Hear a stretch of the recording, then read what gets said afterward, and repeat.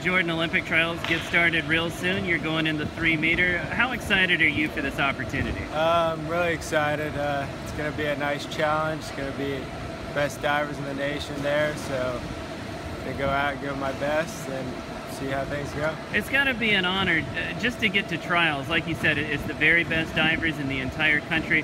What does it mean for you to be included with that group? Yeah, I mean, it's awesome. You know, to be invited to that kind of competition is just unreal in itself. And I'm going to go out and try my best and try to make finals.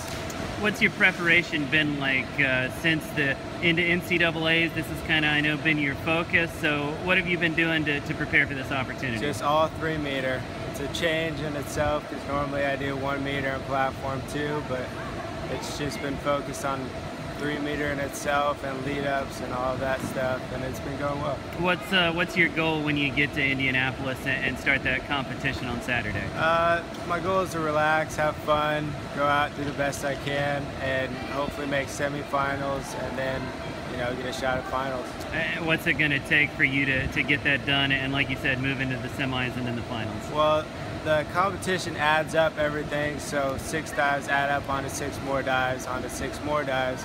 So 18 for 18, it's going to take my best dives, and I think I can do that. Best of luck, and uh, we'll be tracking you from Columbia. Awesome. Thank you.